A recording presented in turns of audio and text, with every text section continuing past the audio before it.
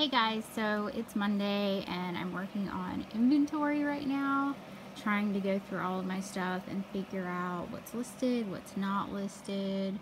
So you can see it's a big hot mess. Trying to organize it all so I can find stuff faster when I'm having to pull things and I'm not running through different rooms looking for stuff. Um, I bought a ton of stuff to list over the weekend, so I'm going to work on that later tonight. Hopefully I'll be able to finish this in a few hours, and then I'll be able to find my stuff when people buy it. But, so this is what I'm working on today, and I'll check back with you guys a little bit later. So, I decided to start pre-packaging my ties. Um, I don't have very many right now, but as you can see, they just they store much better if they're in bags rather than just throwing them all in here in a huge pile. Um, this is just a little bin that I got from the Dollar Tree. And they just pack really nicely right in there. So that's what I'm working on. Probably not going to do this with clothes, but for smaller items, I think it'll work better. Okay, so here are my jeans that I just semi-organized. Um, Eventually, I hope to get a shelving unit and put them on a shelf by, I guess, labeled alphabetically or organized alphabetically. Um, but for now, I'm just going to keep them in here. I bought quite a few more pairs of jeans the past few days. So I need somewhere to put them for now until I can get a shelving unit.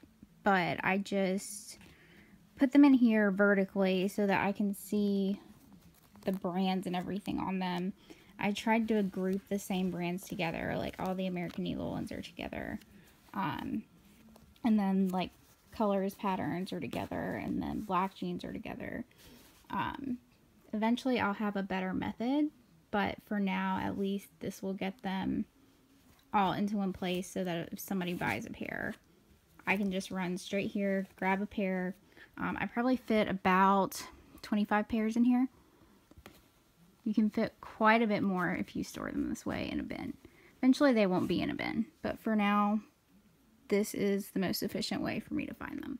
Okay, so I figured out kind of a storage hack for storing things in these bins. If you go back and watch my Dollar Tree haul video that I did a while back, um, it should be the video before this one. Um, you'll see that I got these bags. They're size XL and they're from they're from Dollar Tree. And you'll get two in a box for a dollar. And so what I've done is I have sorted the items. Like these two bags are women's tops. And then this bag is dresses and skirts. And so this way I can store these vertically and I basically doubled my storage space because beforehand I was fitting about 30 pieces into a bin and this is about 60 pieces right here because they're stored vertically. And so also that way, if someone buys something, you can just go and pull out the bag. Um, eventually I'll have these labeled, but you can pull them out and just go through the one bag versus going through the entire storage bin and messing up the entire bin and just having a huge pile of clothes in the bin. So I'm going to label these um, dresses and skirts, women's tops, and obviously I'll have to get more of these. Um, I have a ton of stuff that's not listed. This is just listed inventory right now. But I can probably fit about 20, as long as it's not bulky. This is not including, you know, sweaters, jackets.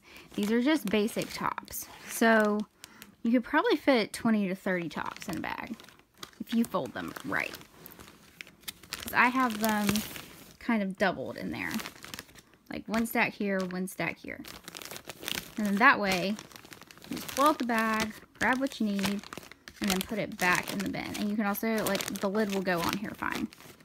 And then I did this one the same way. Um, this is another bag that I have that's just a few kids items.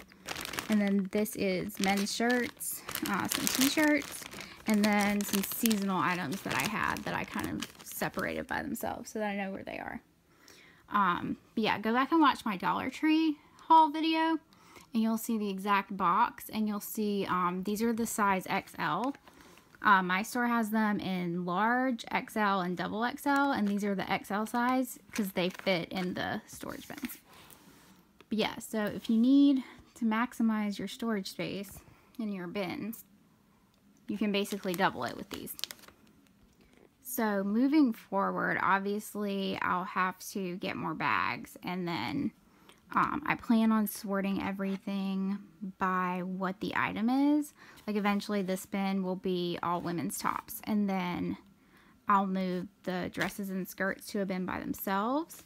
And then I'll have, you know, a bin for men's shirts, uh, men's jeans, uh, shorts, non-denim pants for women, um, probably kid stuff, t-shirts, uh, I do have a few bathing suits. Um, I'm not sure if I'll get enough to a point to where I'll need a bin just for those. Um, this is my jeans bin. This is one pair of men's jeans that I have listed. I have some more, but I'm going to have to redo the pictures for them. Um, and then just a few pairs of shorts that I just kind of put on top of my jeans bin. There aren't very many, so I can easily get to my jeans. Um, but yeah, so I just condensed all of that inventory into three bins. Three bins. And now all of it is in one place with the exception of a few things that I have hanging up like some blazers and jackets and stuff. Um, but all of my clothing items are in one place and I can find them. I know where they are. I'm super excited.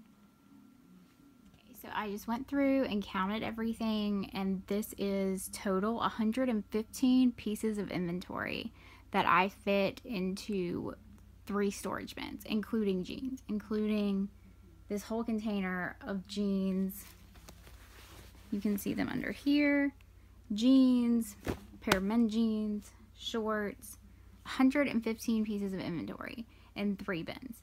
So hopefully this video helps you guys and it will help you kind of maximize your storage space so that you can store more stuff hopefully it's not going to be stored for long because hopefully it'll sell. But at least now I've condensed all of it to where I can find it easily. And now I can go focus on getting the stuff that I don't have listed, photographed, measured, all of that great stuff. So I hope you guys have a great Monday. Please don't forget to subscribe to my channel. Um, and I'll be back soon with another video for you guys.